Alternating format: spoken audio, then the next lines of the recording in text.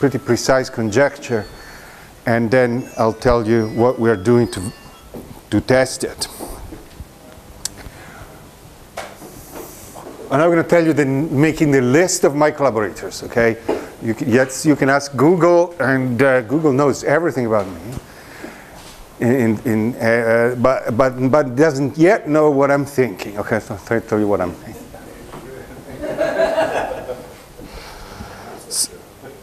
yeah, I know. so um, I'll start with some uh, motivation.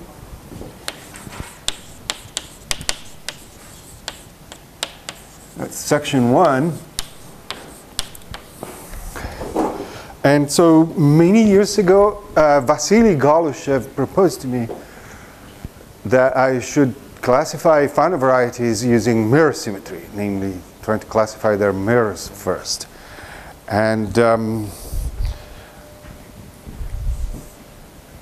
uh, you know, for a long time, I didn't understand this.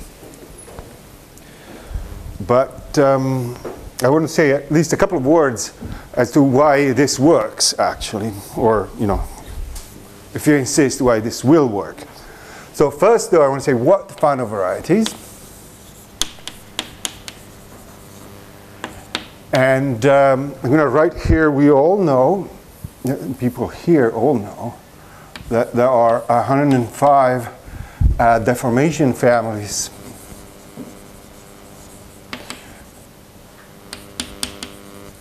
of smooth Fano threefolds.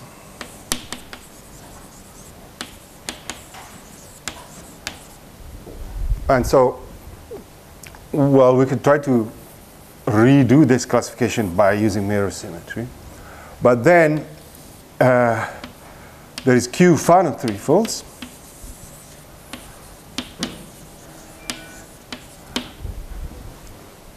And um,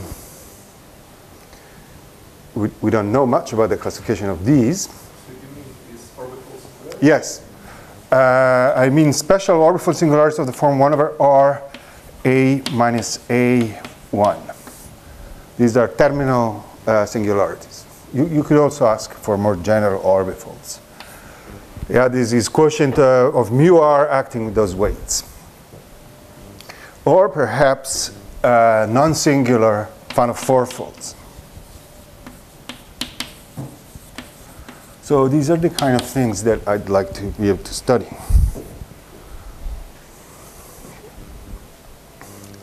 And so I do want to say a couple of words as to why it works.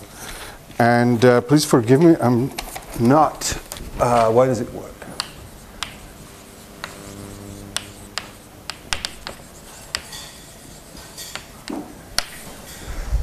So assume that you have a toric degeneration.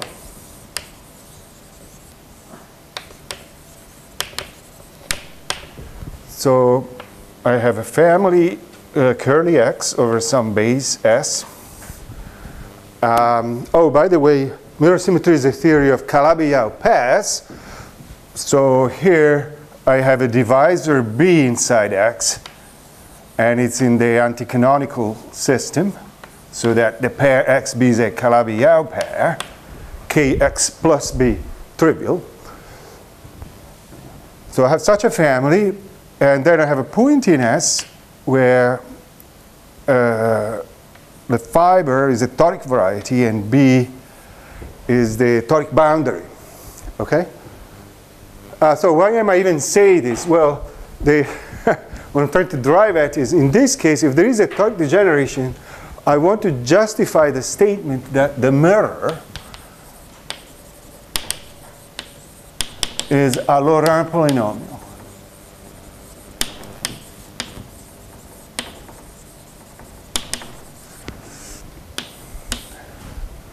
And you know, the idea would work like this uh, if t is small, then um, xt the fiber xt, yeah, so, you know, I'm repeating here, xb here is a toric Fano, okay? And uh, B is its toric divisor. yeah, and B is the, the boundary, the toric boundary. No, very important, not smooth. Arbitrary toric singularities. That's a key point. Um, so you expect the xt to have an exact uh, Lagrangian torus in it.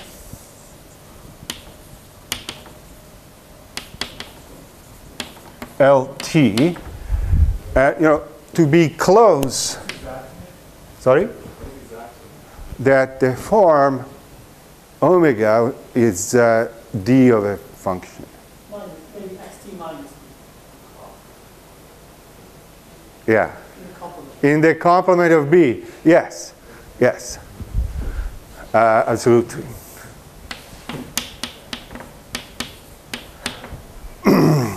Uh, you know, this would be close to.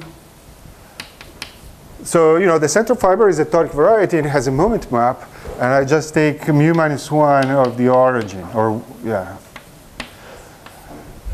And then, uh, literally, the, the mirror would be, the potential would be W to be the sum of, um, you know, all disks uh, in X with boundary on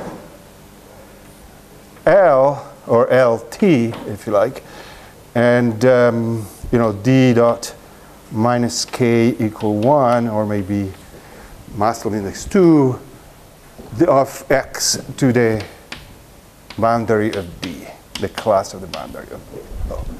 And this is supposed to be a finite, a polynomial. Okay, so I don't know if this is rigorous at the moment. Uh, um, maybe you can explain it to me, but it's expected. You, you know, and the things I write down, I think are, I think are these things. Okay. And so somehow. Um,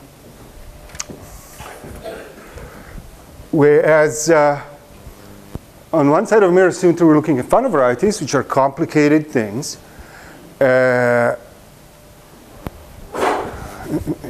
you know, in particular things that it's hard to put your hand on. On the other side, we just have Laurent polynomials with integral coefficients. If we were somehow able to um, determine the exact class of Laurent polynomials that are mirror to Fanos, then we'd be done. And uh, the other thing I want to say is uh, perhaps a little more philosophical, and uh, that uh, birational geometry is difficult. But when we do classification of Fanos, we're interested in deformations of Fanos, deformation families. And uh, so then that gets translated into the birational geometry of the mirror, or more precisely, uh, volume preserving birational geometry of the mirror. That's much easier.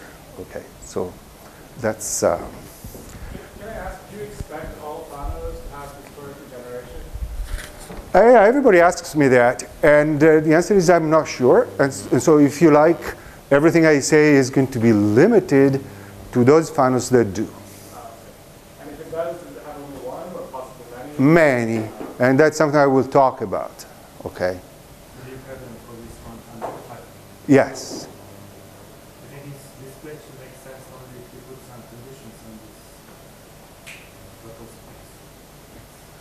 Yeah, we needed some additional condition of the total space of a technical nature that I'm not discussing. Absolutely. Basically, it has to be Q Gorenstein degenerate. You know, there, is, there are uh, results in the literature that claim to prove that every Fano has a toric degeneration. I'm, I'm not sure of the status of, of those. Uh, in any case, Oh, they certainly all do. Huh? Yeah, so, uh, oh yeah, yeah. Well, of course, uh, there are some singular um, orbifold del Pezzo surfaces that do not admit toric degeneration. It turns out that they also seem to have a nice mirror, but that's a different story. We're not going to talk about that today.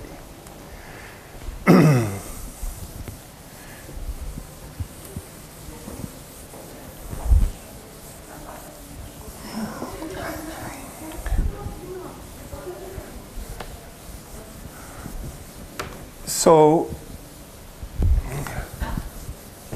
to motivate uh, basically the conjecture I will tell you later, I need to paint a somewhat more precise picture of uh, mirror symmetry for Fano varieties. And that's what I will do next. Okay, so what's mirror symmetry?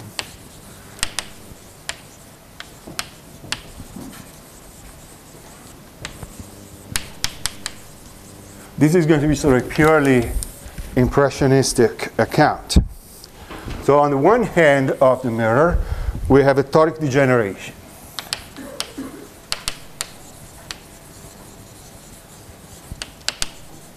Uh, as before, this curly x b to some base s, and uh, the center, if I were some point, is a toric Fano variety. By the way, for me, x is always a normal, irreducible Fano variety. On the other hand, uh, we have this uh, Laurent polynomial.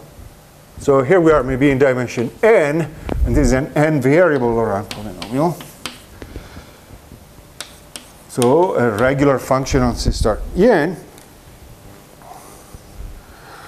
Um, so see, on this side, uh, I have this central fiber. It's a toric variety. And the fan of this, of this toric variety is the polytope. Sorry. Fan of X is the spanning fan of a polytope. P. And uh, so we're in toric geometry, so P is an integer, it's a lattice polytope, convex, and so on, in N. And um, over here, it's useful to compactify W to a, a toric variety. Uh, call it Y bar d bar, boundary d bar.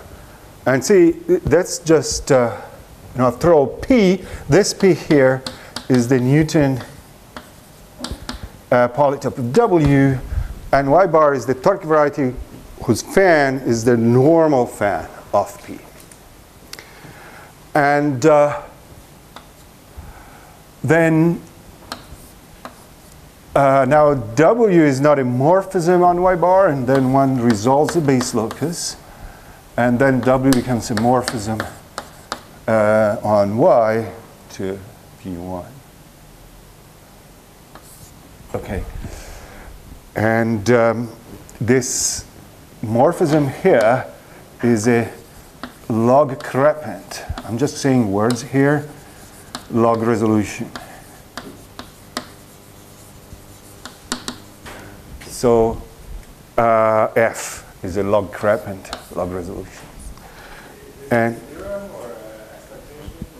as I said, I'm just painting some kind of picture, okay? And uh, so uh, you know, as a mathematician, you think, you know, uh, maybe I can derive it from pure thought, or maybe uh, there, there, are some statements, some text, you know, uh, that you can read, and there is not, not none of those things this is just my experience with many thousands of examples. This is what I see. Yeah, if you like. Sorry, say it again. So you start with an, okay, you take, so Yeah. There's, there's the span of P. Yeah. P is the Newton polytope of W, so here we're still on Yeah. the X side. And then what?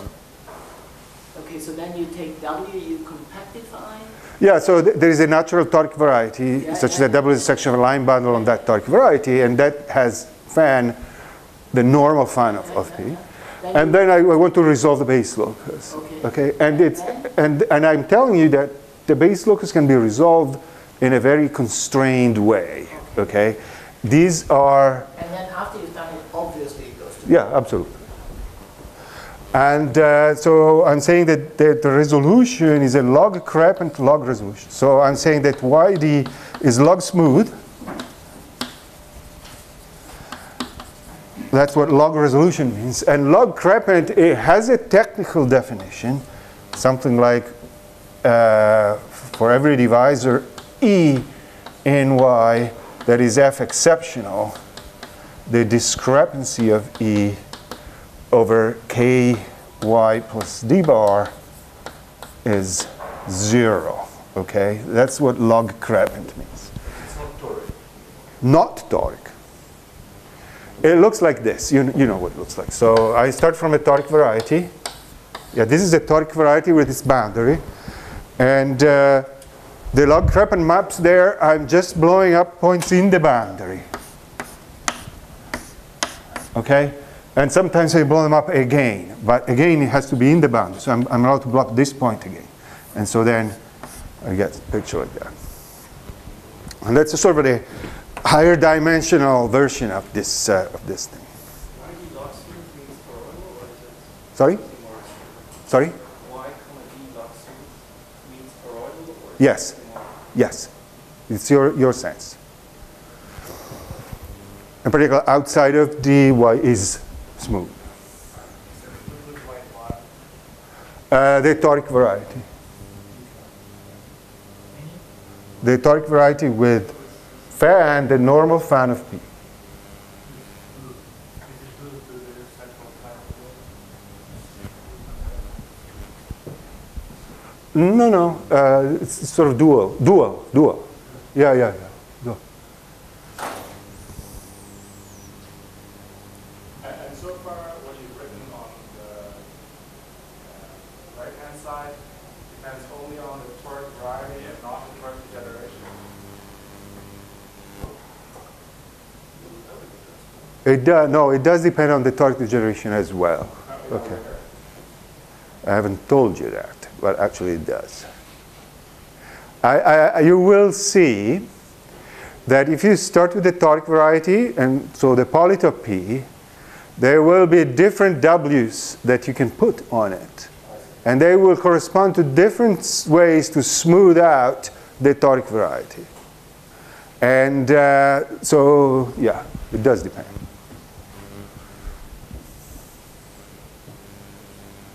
I want to zoom in. I will tell you how to make the W. If I just tell you how to make the W, you will not know where it comes from, okay? But if I tell you the picture, then you will see why I'm, get, where, where I'm getting to where I'm getting. I think, I hope.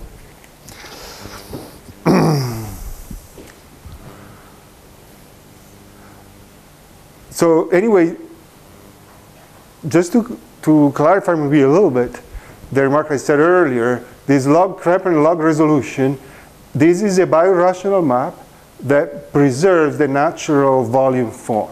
This guy is a Calabi-Yau pair, this guy is a Calabi-Yau pair. That morphism preserves the volume form. And so that's part of what I was saying, that mirror symmetry translates things about deformations on this side to things about volume preserving birational maps on this side. and that kind of birational geometry is actually, I mean, we still don't know much about it, but there's, there's work to do, but, but it's easier than arbitrary birational geometry.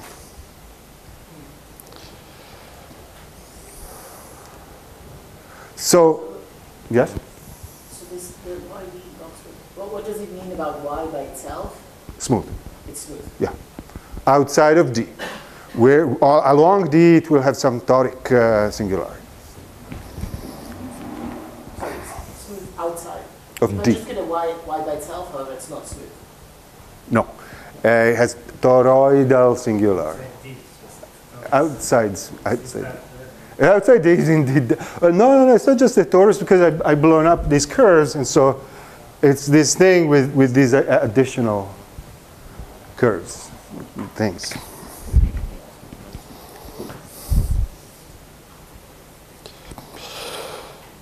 Uh, I should mention here that the I will not talk much about that, but uh, um, there is the picture of intrinsic mirror symmetry that Bernd maybe will talk about. And uh, so we're here, uh, we, can, we can recover x as, um, you know, rather x my, well, okay, this is not very convincing, although that's, it is true that x minus b is the spec of some uh, log quantum cohomology of the pair yd.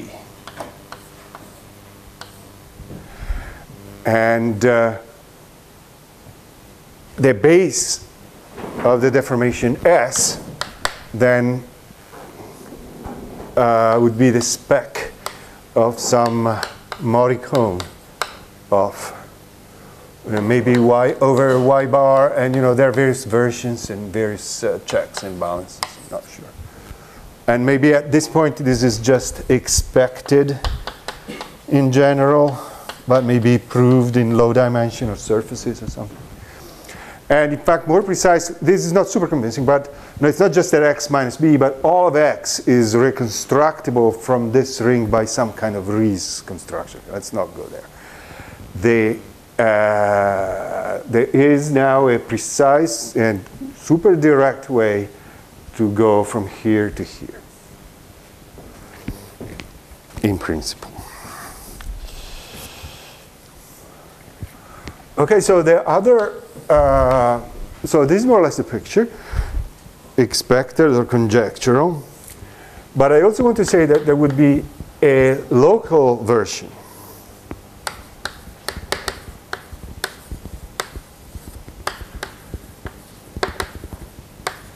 Of this picture. And um, where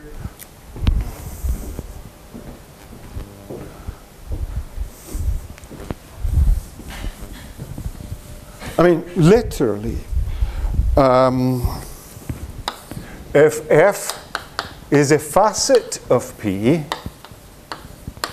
then I can take the cone over f,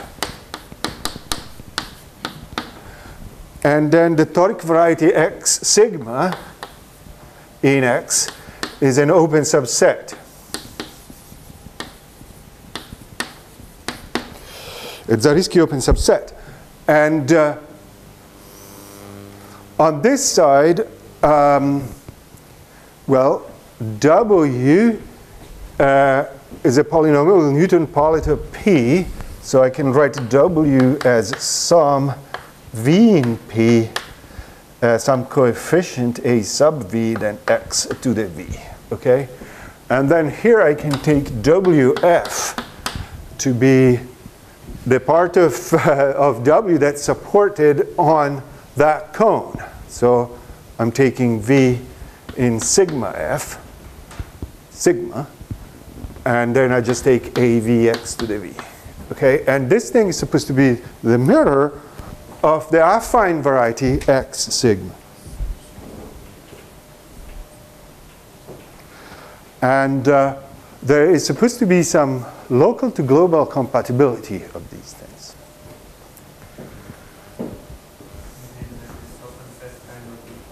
Yes, precisely. So you can, uh, and, and I, I, will, uh, uh this is exactly where, where, where I, what I want you to think. That after all, uh, this data is supposed to instruct how to deform the, the open subset X sigma. And the compatibility, this data to get, so you give yourself a bunch of WFs. then you form a W out of those WFs, then you have uh, to worry about whether these deformations glue. Can you explain that again?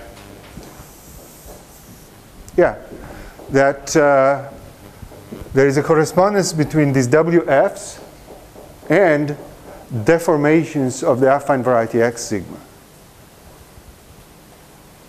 Something, in fact, this is the one thing that I will make really precise in a, in a moment. So maybe, maybe this can wait.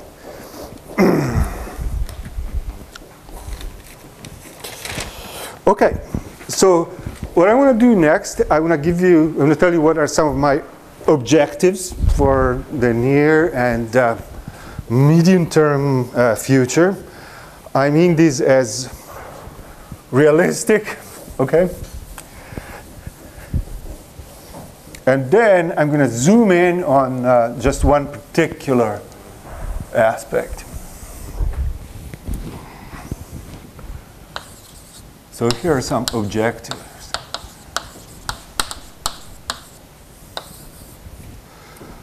So essentially, so the first objective is I want to make a conjecture and test it.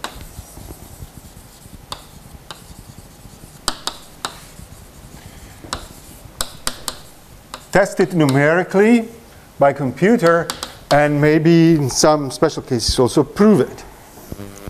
Now this conjecture I want to make for three folds, smooth th Fano three folds. Uh, I'd like to make it for Q Fano three folds. Several uh, contexts and four folds, okay? And you know maybe some other context, a sort of mirror symmetry conjecture, okay? And so I will make it more precise in one case later, but uh, the meta statement is to look like the following. So there is a one-to-one -one correspondence.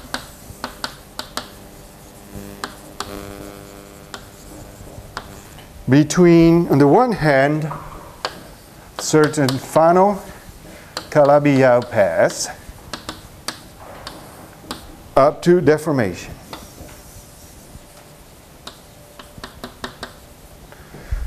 And on, on the other hand, um, the, oh, there is a lattice polytope P in N.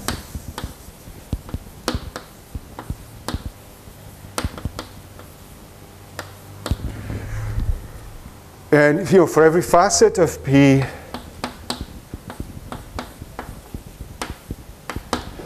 some uh, polynomial, some Laurent polynomial WF uh, with Newton polytope equal F and then some compatibility or gluing condition.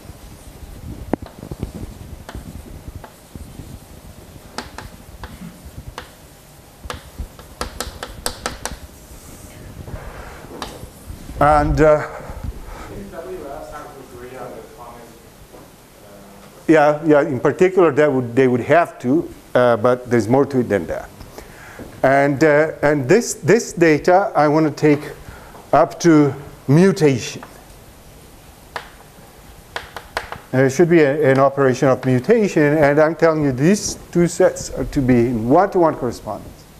So if you remember, some of you will remember, some of you are too young to remember. When I, when uh, symmetry first came about, you know, mathematicians look at each other, what the, what is this thing? Is it some correspondence between what and what? Between, is it, is there is there a one-to-one correspondence? No, some people would dare to ask, is there a one-to-one correspondence between a set, an A set, and a B set? And then people would say, no, no, no, we don't expect that, maybe many to one, whatever, okay? So I propose to finally na completely nail down that question. There is a one-to-one -one correspondence, and this is what you have on one side, that's what you have on the other side. Yes. So this is for Fano-Calabi-Yau pairs. In other words, that you have a Fano and then a divisor in the anticanonical system. So there is a different use of these words.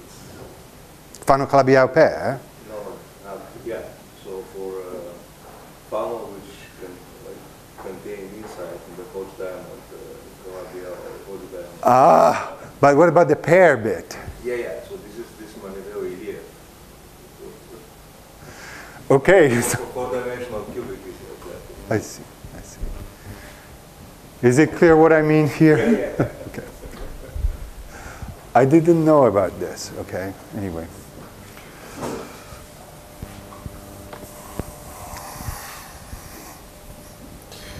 So that's the first objective. And so in a sense, uh, we've already done this in the case of surfaces, but then uh, threefold is a bit, quite a bit more complicated already. So this is why it's taking quite a while to, to do. Um, another, so, so this is, I think, reasonable. Uh, because we have a lot of evidence, numerical data, and so on, and so we should be able to put this together now in, in a way that looks plausible. The second objective is going to be classify the right-hand side, namely, uh, this is just combinatorics now, by computer.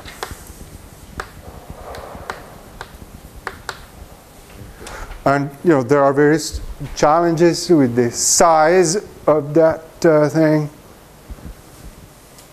Um, just, just maybe I just want to say, so for fourfolds, we will want to walk through the database of 400 million reflexive polytopes, okay? And so you need uh, to have the database stored properly, and you need to be able to query it. Send a query, bring me tho- those reflexive four-dimensional polytopes with this and that characteristic. And you need, you need the, the answer to come back quickly enough. And that's what the guys that are working with the computer are having problem with right now.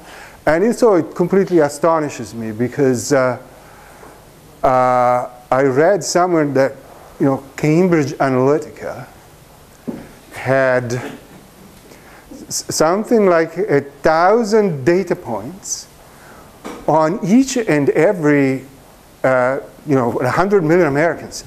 And uh, they were able, obviously, to run a computation, which was not very difficult, just some machine learning thing, but still, on each and every one of those data points.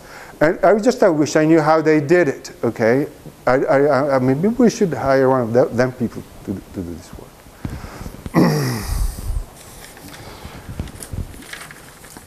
Uh, so now what about proving some theorems? And I think the, the one that is sort of realistic, uh, that looks doable, is to uh, show, prove that there is a map this way, okay? Uh, so in, in other words, once I have this combinatorial data, then I can construct the Fano and I can try to prove that smoothing exists. It would be a singular toric Fano, and then this data will instruct instruction how to do the smoothing. And there are various uh, technologies for doing this, none of them at the stage where that, that, that allows to do this easily, okay? But, but still. I'm telling you, once, once, they, once, they, once this part, once the, the conjecture has been stated and it looks plausible, then, of course. And in, in a moment, I will tell you exactly an example of such a condition.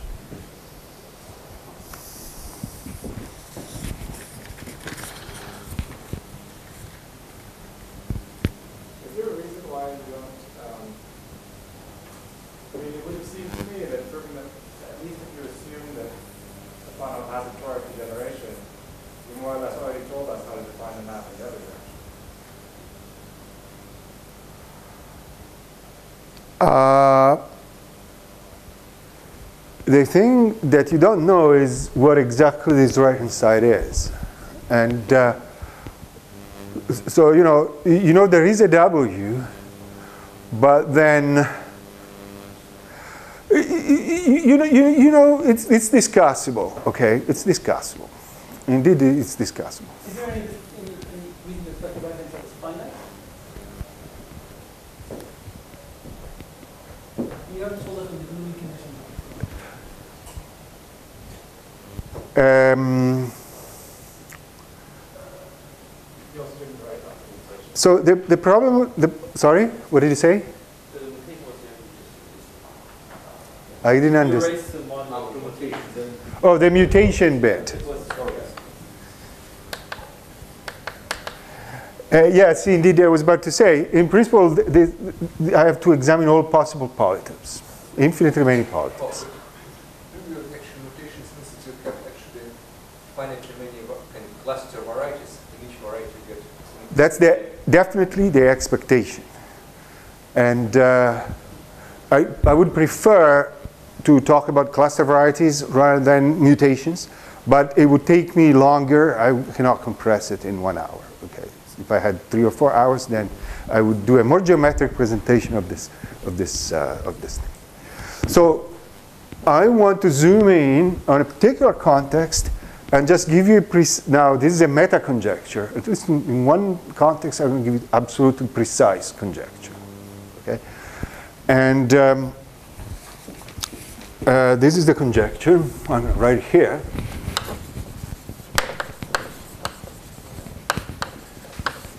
And this is a purely local conjecture. So suppose that F is a polygon in a two-dimensional lattice. So this is a lattice polygon.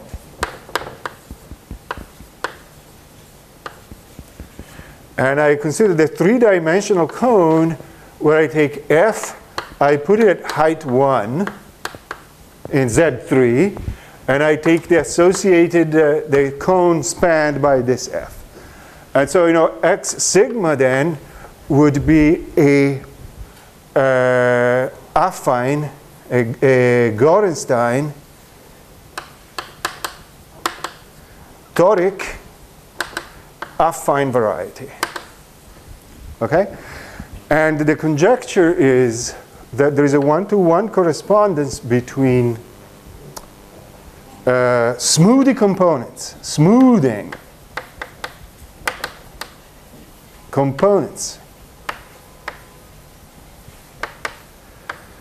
of X sigma on the one hand, and uh, on the other on the other side, I put these things which I call zero mutable polynomials uh, W with newt W equal F.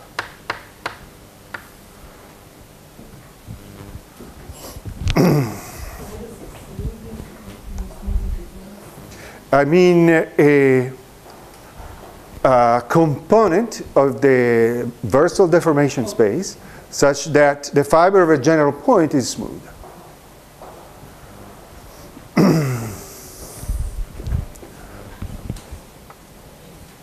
so I'm, I have to tell you what this uh, zero mutable business is. Um,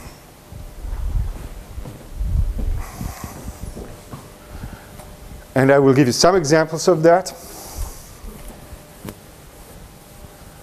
And then a little bit of evidence for the conjecture. And then I will also tell you how we plan to test it more seriously. And again, it's, it's uh, not so easy. Uh, what's, what's more clear is, is how to go from here to here. A zero mutable thing will give a smoothing component, but I don't know the other way around anyway, we'll, we'll, uh, we'll discuss that a little bit later, a bit more later. So this zero mutable stuff is just a little combinatorial game. And uh, in fact, I can do it in all dimensions. So suppose that L, L here is an affine rank R lattice. So, you know, abstractly isomorphic to Z to the R, but I haven't chosen an origin. And then I want to define what it means for a uh, Laurent polynomial. Well, it's not really Laurent polynomial because I haven't chosen an origin. It's some kind of module of things. I'm not, I'm not sure what to call it.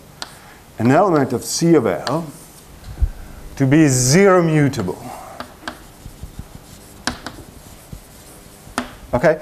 And so this is an inductive definition where I know that certain things are zero mutable and then that implies that certain other things are zero mutable. So, I, so for every L in L, a monomial is always zero mutable.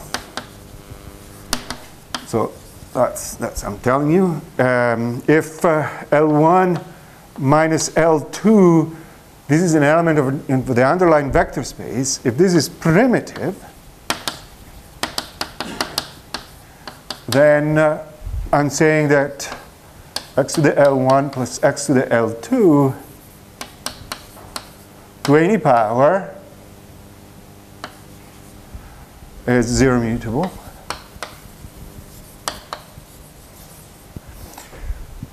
Then uh, um, if F1 and F2 are zero mutable, then so is their product.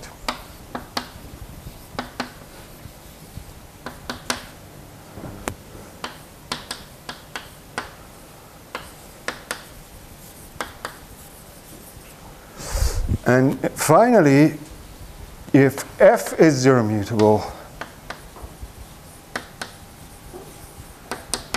then so is, is a mutation of f.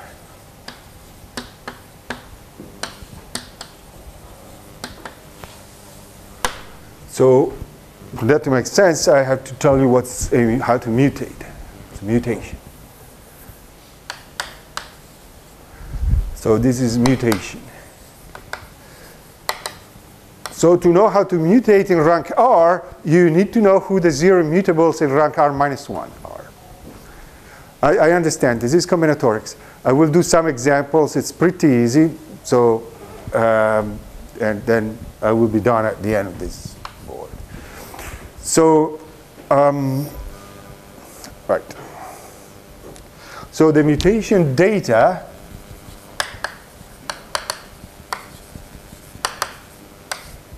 are phi, our pair is a pair phi h, where phi is an integral affine map from L to Z. And uh, H is a Laurent polynomial with Newton polytope uh, contained in the, in the kernel of phi 0, where phi 0 is the linear part of phi and H is zero mutable. Okay, so given mutation data, I'm going to tell you how to mutate F now. So you have to write F as sum over K in Z Fk, where Newton of Fk is contained in phi minus 1k. And then the mutation of f is sum h to the k fk. And here k is, running over the integers. And uh, this is this is only defined if for k negative I want that h to the minus k, if you like, divides fk. So this is a condition of f. And uh, I say that f is, is, mutable if that works, and then this is its mutation. This is a generalization of the Yes. Yes. It's the sort of um, affine version of that. Because the mutations get skewed in your format. There is no skew linear form here. There is only a volume form. Yes. so um, let me give a couple of examples, okay, of this thing. Uh, because uh, you've probably seen this where this phi is an element, is just an element of the dual of L. L is not an affine thing, but it's a vector space, it's, it's a lattice. And, but here I, I allow it to, to be just an affine thing.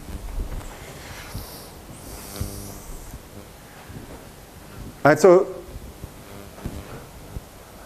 uh,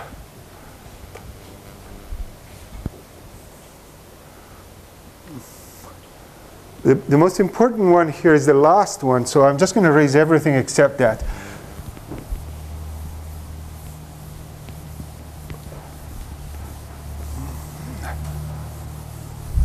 So why do I call it zero mutable? Because f is zero mutable if I can mutate it to zero, to nothing. It goes away after a bunch of mutations.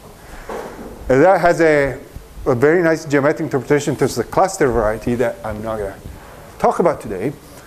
Uh, and so let me, examples. So consider f to be this polygon.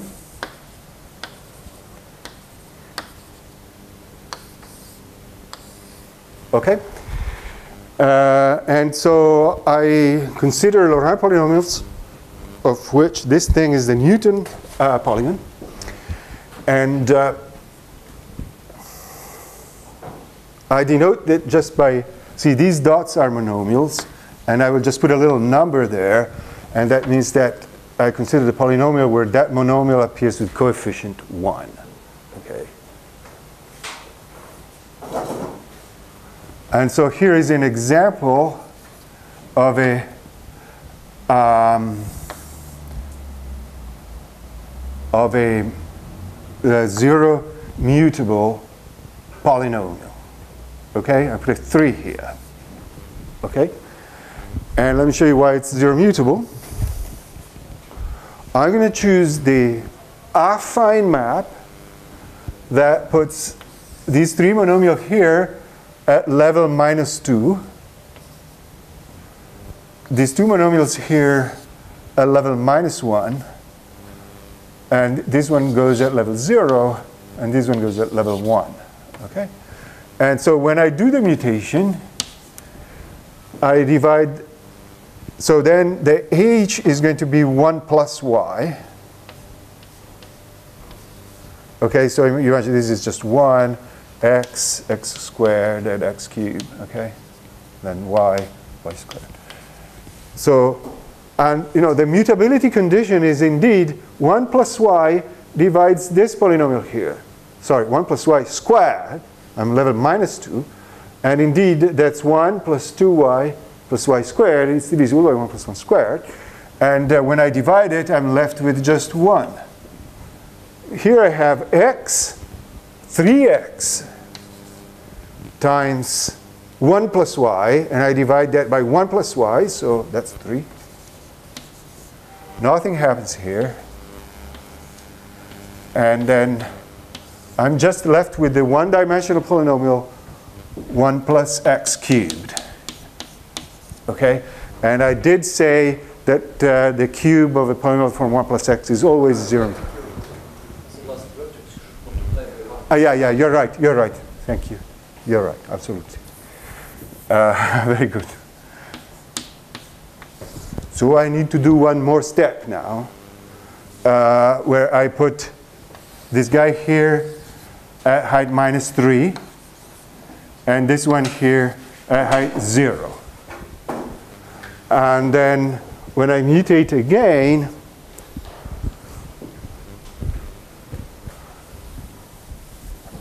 I divide that bit there by 1 plus x cube. And uh, that guy stays the same. Okay, so that's the next. Uh, Sorry, just to yes, You always have this, in this example you did, in both examples, that Yes. one of the boundaries lies in the, in the fiber over, um, Is this, are you always mutating by a function which is constant on one of the boundaries, which is defined on the boundary? Yes. Uh, the definition does not require you to, but uh, you, you, you, you can try to do other mutations and they are completely useless. Okay. These are the ones that, that uh, help you. Okay. I don't know if this is an allowable question. Yeah, please. Can can you tell me uh, which discs are being counted on which the garages? okay, okay, okay. Uh, this is uh, not, not right now, no, but that's something that, could, we, could, we could talk about this. In fact, hopefully you can tell me after, after we exchange some information.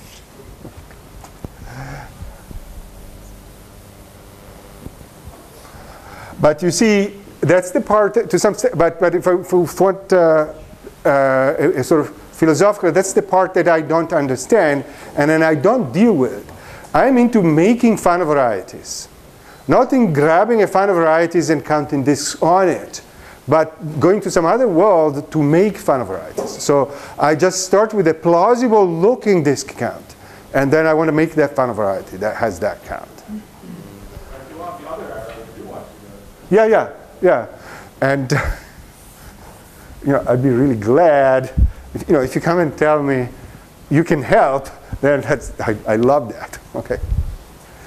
So there's another one here, and uh, on the on the same on the same polygon, there is another uh, zero mutable polynomial. And that has coefficient 2 here. Okay? And uh, so for that, uh, you want to put the base of the triangle at height, say, um, now that's interesting. Um, yeah, and uh, and then I want to put this one here at height minus 1. Okay? And then this one here would go at height 1. And so, you know, the condition here is that, you know, 1 plus x cubed divides this thing here, and so it goes away. That 1 plus x divides this, and, and it does, so, and then nothing happens here. And so that's, I just get this, I think. Yeah, yeah, yeah, yeah. Thank you. Very good, very good. Okay. And so, but anyway, this also I can move into nothing, easily. So, uh, in terms of the conjecture, here's perhaps I want to comment a couple of things now just the conjecture. So, um, remarks. So, the conjecture is true, is known to be true when uh, x sigma has isolated singularities.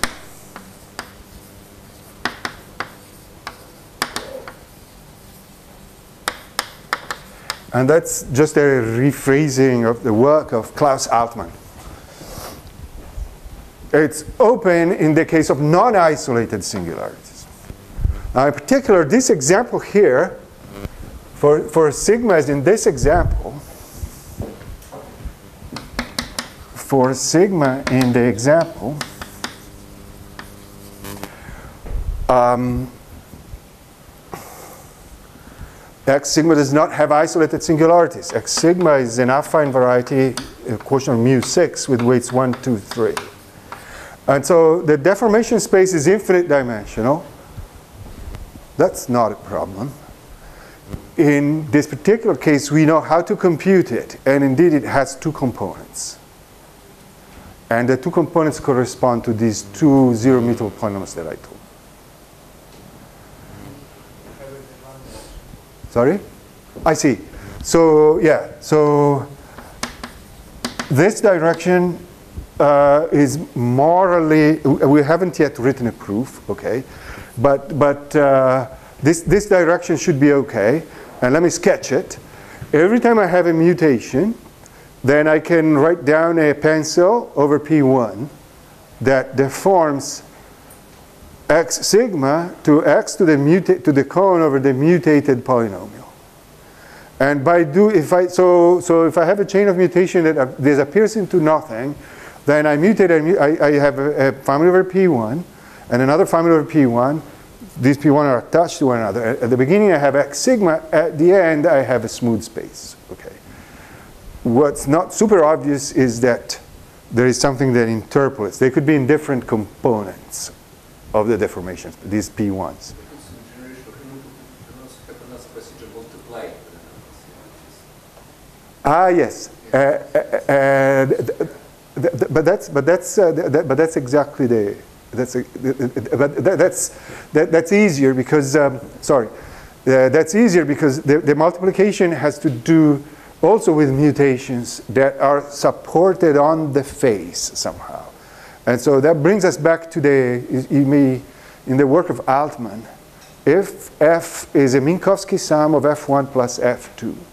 Then I can write a family with two parameters uh, where the general fiber is uh, uh, some intermediate thing, but then on the two axes I have xf1, x, xf2, and then the center point I have x of f1 plus f2.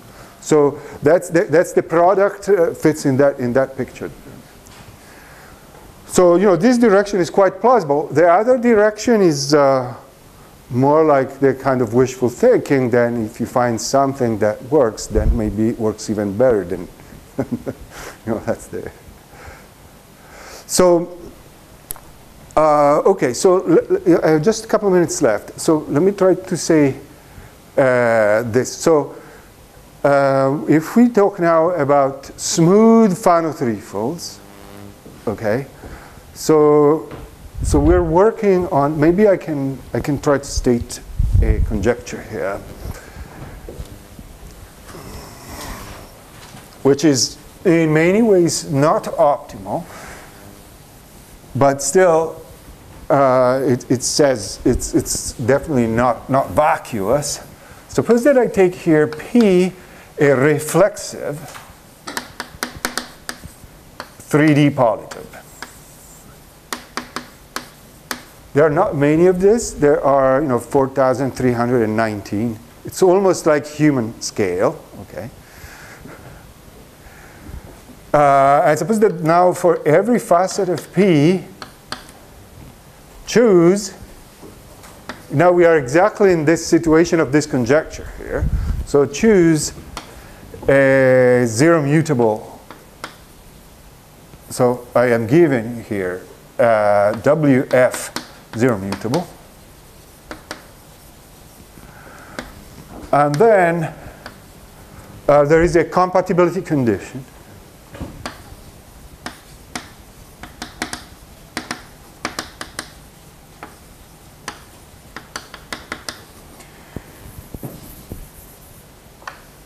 And we consider this stuff up to mutation. Then this should be should contain 98 elements, this set. These are the 98 families of Fano threefolds with minus k very ample.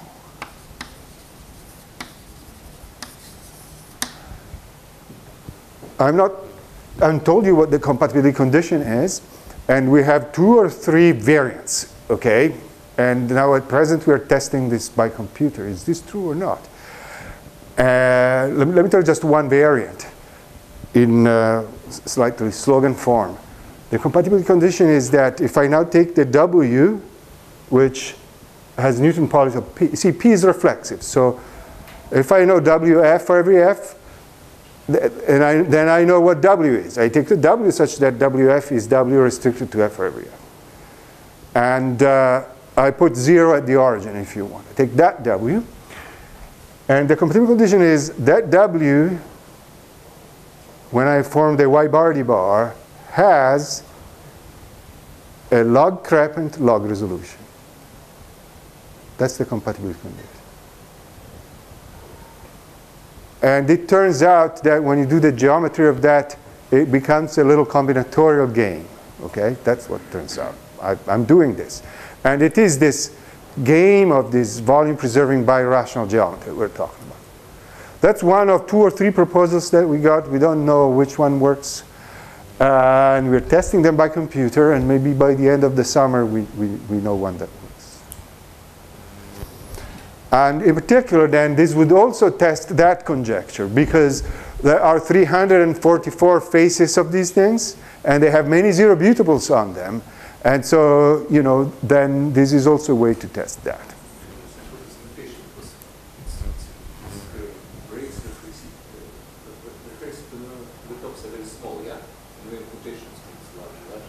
You're absolutely right. And indeed, that, that's why I said, uh, in many ways, still unsatisfactory. The point is that if you start with a polytope, you do a mutation, the polytope is no longer reflexive. However, you can mutate, mutate, mutate, and come back to a reflexive. And that's what I mean here. Ideally, this conjecture would have to be stated for all possible polytopes. And then I have to have a game of WFs and compatibility conditions on an arbitrary polytope. We're working on it, but uh, first, uh, we, so we want to understand this case first because there's no, you know, it's practical, okay? We take one step at a time. So the basic thing to check in this conjecture is just that the number of elements on the right is 98. Yeah, uh, but, but also, The math. Yeah, yeah, yeah. On the other hand, on the other hand, uh, it's, it's more than that because really here we have a cluster variety. So this, these mutation equivalents are different charts on a given cluster variety. So then we also know how to choose a chart such that at that point we know how to construct the smoothing by deformation theory. That, we've done that. So then we, we would actually be proving that um, out of one of these things there is a well understood smoothing. No, I, I you prove much more, but it's, it's now to check this statement. Oh, I see, I see, I see. It, it, it's enough to check that you have 98 items on. No, no, no. But uh, but as uh, Maxim says, you, you know, you'd you'd, uh, you- you'd you'd also immediately what we what's happening is you look at the Laurent polynomial, you look at the we have the tables of the period sequence. So in fact, we we, we nail it down by Gromov-Witten invariance.